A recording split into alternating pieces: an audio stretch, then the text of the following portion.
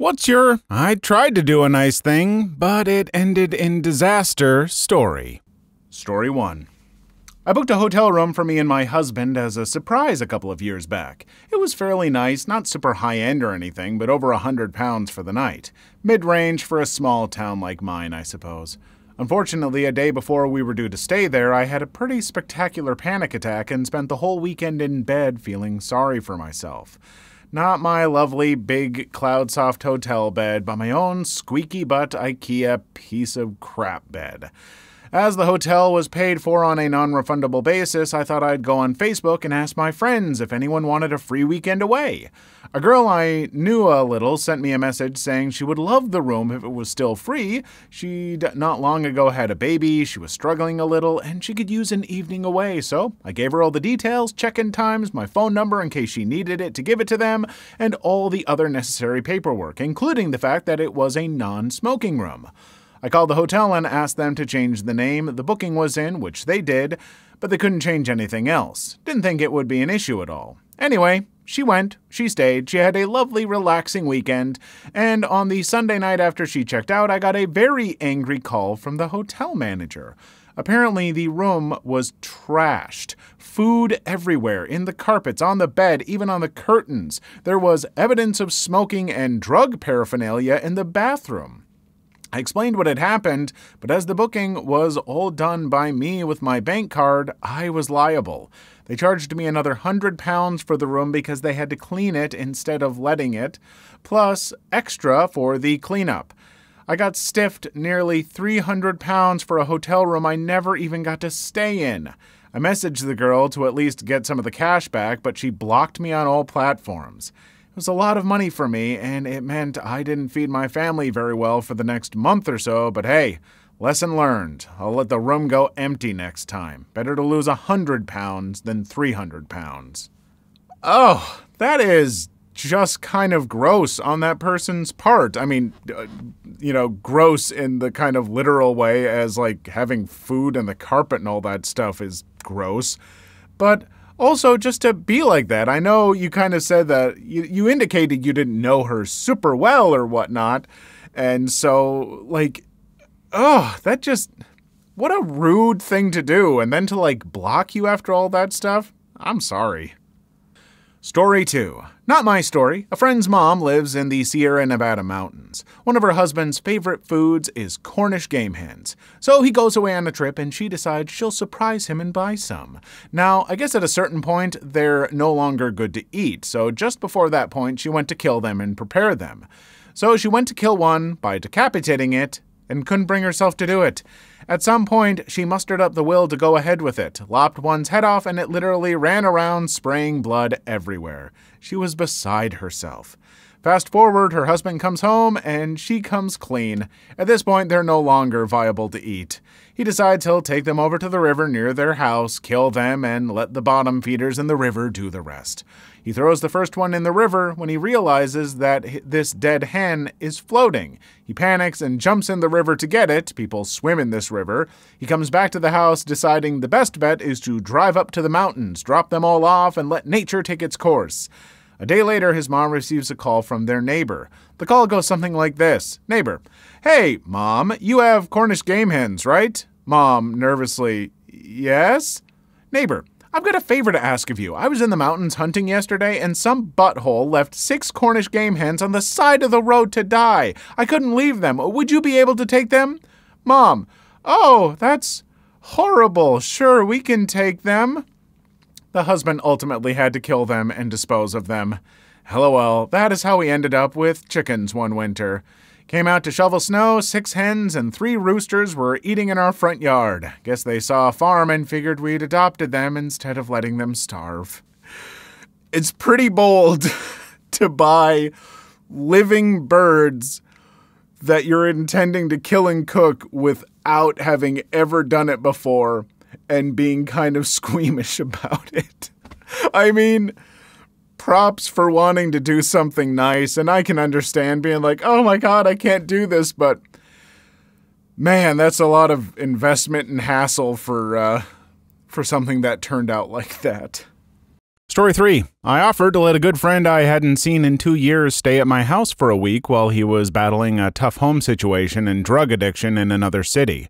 I thought it would be a good idea for him to come out and stay with me for a bit, especially since he was trying to kick his addiction back home, but his parents were enablers, and also that I missed him because he was my best friend. Instead, he decided to treat the week at my house as a drug retreat and spent the whole time getting high, trashing my house, and reconnecting with the wrong people. He used to live in my city, but his parents kept moving all of them around, so there were people he knew here. It is also important to note I'm not much of a drug person and was consistently encouraging him to kick his addiction.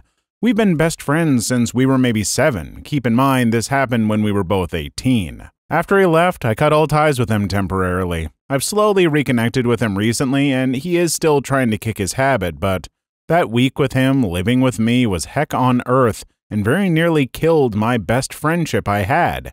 It basically did kill it for a few months. Guys, please don't experiment with drugs, especially if you know you're likely to get hooked.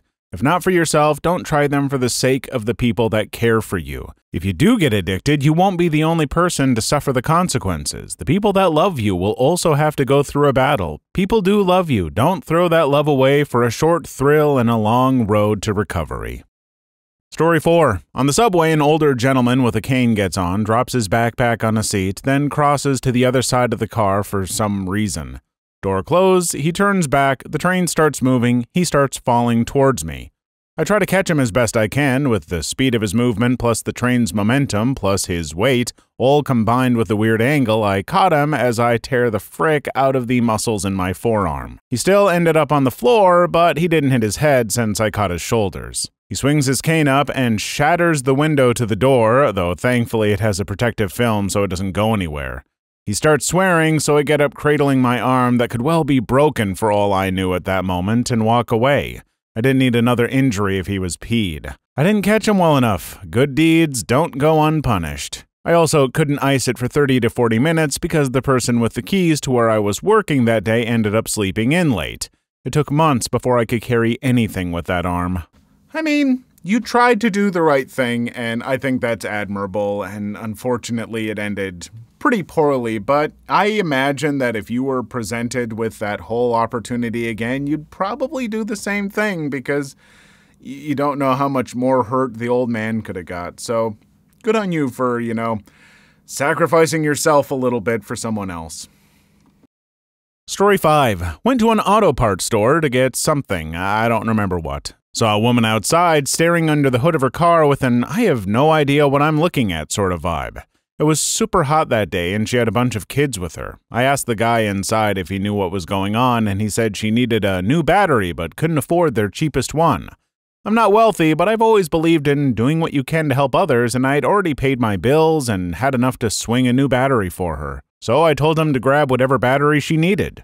I walked out with the battery and said to the woman, I heard you needed a new battery, and I know you didn't ask anyone to help, but I hope it's okay that I took care of getting one for you. Or something to that tune. She screamed really loud, Get the frick out of my face! White people are always trying to help somebody. So I got the frick out of her face and returned the battery. On the way back to my car, I looked at one of the kids and they mouthed, I'm sorry, thanks for trying. I nodded and drove away. White people are always trying to help somebody. That's a first for me in terms of either insults or compliments. Story 6. I was throwing my wife of six years a surprise birthday party and went through her phone to get contact info for her friends. Found recent text messages to an ex boyfriend saying how much she missed him and wanted to be back with him. Story 7. I was up for a promotion at work. One of my coworkers, a single 23 year old mom of two kids, also wanted it. I was far more qualified and knew it was going to be offered to me, a gay man with no kids, so I had a meeting with management and told them I stepped down so she could have the money and experience for her kids. Three months later, she got with this guy and got obsessive. Texted all day, always on the phone arguing with him if he so much as looked at another girl, then started calling out sick all the time and not doing any work at all. Finally, she got fired. Last frickin' time I ever did anything like that again. Story 8. One of my best friends was having a really bad day at work on his first day on the job and started texting me about it while he was on break. I Snapchatted his girlfriend, who was a good friend at the time, and told her about it while also saying, If anyone would know how to cheer him up, it's you. She said she'd do it and make a surprise date plan to make his day better. A few hours after he got back from work later, I asked her how it went, and she proceeded to rip me a new one for an hour about how if her boyfriend is having a bad day, she doesn't need me telling her and she could figure it out herself. That's just her being a butt.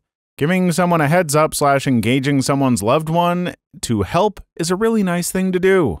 Okay, that's just a little bit too possessive of someone that you're dating. Like, girlfriend, you can't be the boyfriend's everything and know every little facet of his life. If a friend is sharing something with you, don't be like, How dare you? How dare you step into my realm? Like, no matter, I mean, and this goes for boyfriends with girlfriends, with boyfriends, with whatever. Like, don't be that possessive. Like, friends might be able to see stuff that you don't. That, that's weird. Story 9. Not as extreme as other people's, but for Mother's Day when I was 13, I tried to make my mom scrambled eggs and bacon for breakfast because they were her favorite. I added too much milk to the eggs, meaning they couldn't cook properly, and ended up setting fire to the bacon. The saint still ate it all with a smile on her face. Story 10. I used to work as a waitress and had a couple come in and order the all you can eat special. They ended up only eating one plate of food, so I offered to only charge them for the one plate of food instead of the all you can eat since it's cheaper. I made the change to their bill and brought it back to them. Later, they complained to a manager saying I was being rude to them. So, since it wasn't a significant discount, they thought I was trying to imply that they were poor. I was just trying to be nice, but dang, excuse the heck out of me. Story 11. I washed my girlfriend's clothes once as we lived together. It turns out all her things shrunk in the dryer and she had to buy some new shirts. We're married now, but it was a disaster at the time. Story 12. Planned an intervention for my bestie. She found out and accused me of trying to turn everyone against her. All the friends that helped me plan the intervention suddenly turned on me and not only decided that enabling her addiction was the better route, they also told her the intervention was 100% me and they were forced to go along with it. What? I was so peed, I never spoke to any of them again. None of them are friends with each other anymore, and the addict is with a guy that regularly beats her. I haven't seen her in about eight years, but people I know have seen her, and it's always the same story that she's drunk or strung out. The sad reality is, if you have an intervention for someone who really needs that help, you're running a risk because an intervention's not going to work unless that person at least partially wants it to work. And you're not to blame for that. You tried and you did the right thing. The fact that your other friends then like turned on you like that is really upsetting and gross. And I hope that they all feel an amount of shame for that because that's that's not helping anyone and that's really awful to you. So I'm sorry that you went through that. Story 13. When I was a child, I thought janitors were paid by how much trash they picked up. Imagine a little piece of crap waddling up to you, dropping his bag of chips on the floor in front of you, and smiling at you like he did you a friggin' favor. As a cleaner, I find this hilarious. I also want to add that we definitely do not get paid by the amount of trash we collect. I may suggest this to the union rep's next meeting, though. Story 14. I was a manager at a warehouse job. One of the young kids came into my office and said he couldn't work for us anymore, but also said he can't afford not to. He was in a tough spot. I told him to start looking and applying for jobs and to use me as a reference. Offered to let him out of work for interviews and just tried to be supportive in general. He stays for about six months past our conversation and starts underperforming drastically. He even stopped showing up consistently. We had a few conversations about performance and attendance, and eventually I told him we were done being flexible and he needed to either do his job or stop coming in. He stopped coming in. Then I got a call from the labor board that said we wrongfully dismissed him. After investigation, they found I had no evidence of our conversation six months earlier and we had to pay him severance. Unfortunately, that was the last time I tried to be so accommodating.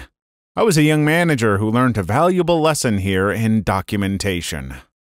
Story 15. One time I saw an old man and his dog alone in the bar. He looked sad and alone, so I thought I would be nice and go up to speak to him. I was slightly drunk and extra friendly. He immediately started telling me about how he and his dog were thousand year old aliens, and I suddenly realized why everyone had been staying far away from him. I tried to excuse myself for a few minutes before he pulled a ukulele out of nowhere and started loudly serenading me with a love song in front of the whole bar. I ended up on more than one Snapchat story that night. Story 16. A couple years ago in high school, I would volunteer feeding the homeless once a week through the school. Basically, we made some cheap meals in our cafeteria, think mac and cheese, pastas, salad, and would bring the meals to a nearby park where a lot of homeless people camped out. The program was run by one of the school's administrators. One of the weeks I was helping hand out food, I saw an older woman standing off to the side who looked kind of disheveled. She didn't have a meal, so trying to be as generous as possible, I walked over with a meal in hand. I offered her the food, but she politely declined. Not one to be turned away easily, I insisted that she should take some. At this point, she kindly informed me that she was Mr. School Administrator's wife. I was absolutely mortified and started apologizing profusely. She laughed and said it was fine, but right after this, I saw her talking to her husband, and he did not look very happy. But the worst part was that the next day I had an interview to be on the equivalent of my school's ASB. The interview was with a current ASB member and a random administrator. Can you guess who? Yep, the guy whose wife I mistook for a homeless woman. Long story short, I did not get that position. I am sorry that you had to go through that. Like, that sucks. And to heck with her if she genuinely did, like, take offense to that and stuff. I'm sorry, but there's there's a number of things wrong with that. You know, she should have been flattered that you were willing to go out and help and should have seen the kind heart that you had. And so that's that's on her. And if she's going to be that way, then buh, you don't want her approval to begin with. Story 17. I invited the girl everyone hated to my birthday, and she made it about herself, bullied my friends, talked about it openly to people who I couldn't invite or didn't want to, talked about me behind my back for months, saying that it sucked and her family is so poor. Yeah, so I don't do birthday parties anymore, really. Story 18. My little brother at the time, probably around 15, had picked up a huge nug of weed and had nothing to smoke it with. I went to work, I was 16 at the time, and figured he would have the munchies after I clocked out of my shift. I called his cell phone to see if he wanted Taco Bell because I'm a good sister. I would pick it up for him. Well, he didn't answer his phone, so I called our house's landline and my mom answered. I was vague in telling her why I was going to Taco Bell so late at night, but asked my mom if my brother wanted anything, thinking that he had already smoked. She walked into his room with him and this huge nugget making a pipe out of tinfoil. She had him flush the weed down the toilet, and I came home to my very Italian mother panicking that he's ruining his life. Fast forward a decade, now I'm the stoner, and he's a correctional officer in our hometown. I'm certain that this wasn't what I'm thinking, but in my mind, the way I'm reading this story in the end, it's like this was the event that you're like, no, I did this to him because of the drugs. I don't know what he's going through, and you started doing drugs. But this was also the event where, like, his mom got him, and he was just like, I can never do this again. The my mom's disappointment, and this one chance happening is what turned both of your lives into this. I mean, maybe for him, maybe for both of you. I don't know, but uh, I, you know, hey, if you're a stoner, uh, welcome to a club that I'm familiar with. Story 19. Try to help my alcoholic slash crystal using cousin find a job. He was making progress with his alcoholism and hadn't used it in a while, so I talked with my buddy who runs a landscaping business. I vouched for my cousin and told him how hard of a worker he was, which is true because he would work me to death when I needed another pair of hands. I was very upfront with his shortcomings, but was also upfront with his progress and just asked for a fair chance. Gave them my word he'd work. I got called a week later and was told my word means nothing now. He showed up late, left early, stole tools, and just went missing on job sites. Story 20. I worked in a memory clinic doing diagnostic tests. This lady came in with her sons. They told me that she had begged to come because she thought there might be an issue with her memory. She confirmed this, saying if there's a problem, she wanted help and medication. At the end of the test, I asked if she wanted to know the results. She again confirmed. I told her that unfortunately she did have a memory problem, that from her history she may benefit from medication, and I would arrange for her to see the consultant, attending in the US, I think. She then told me in no uncertain terms what an awful person I was, that I should be ashamed to do this to people, and I was wrong. Also, we shouldn't have sent her an appointment at her request, because basically we were trying to trick old people into giving up their independence. She was very eloquent. Me and her sons just sat open mouthed. Classic dementia. Story 21. I once held a door open for an old man who was using a cane and had his arm in a sling and cast. I was just trying to be polite, but he was totally offended and he proceeded to chew me out, telling me that he didn't need some woman to hold the door for him because he was not a cripple. It was incredibly awkward. First and only time I've ever had to apologize for offering to help someone.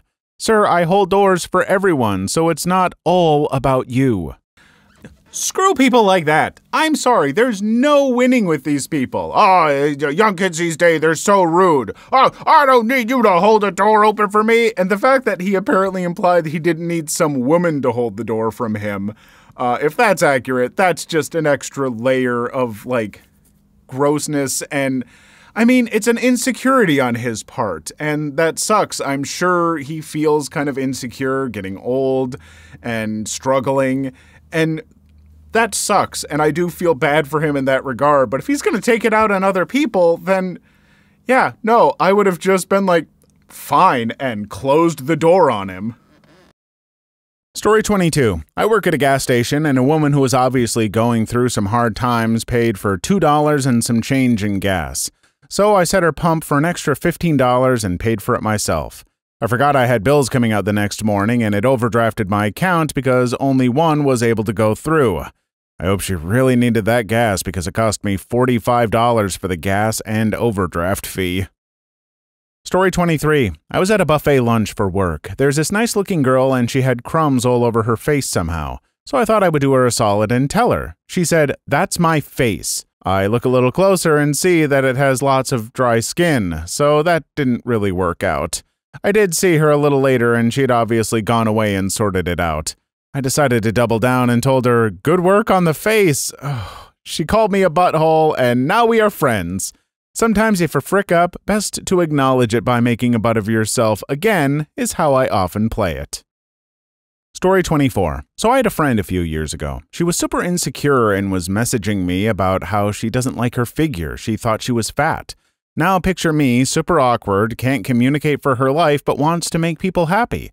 So I say to her she isn't fat, but if she's unhappy with her figure, I'd be happy to help her find a sport or diet that works for her so she can feel better. She interpreted this as me calling her fat, and she told all our friends who decided not to speak to me.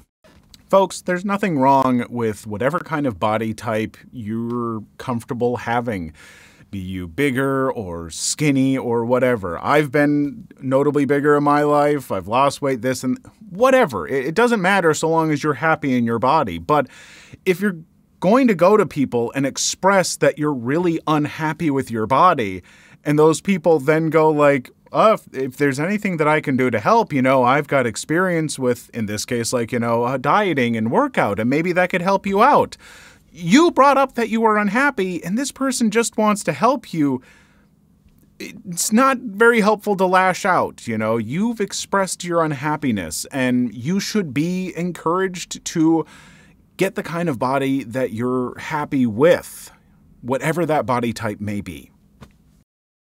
Story 25. At the beach, some kid's ball went in the water and they couldn't swim. I was out of the water sitting and said I could get it for them. Right before grabbing the ball, I got stung by a stingray on my foot.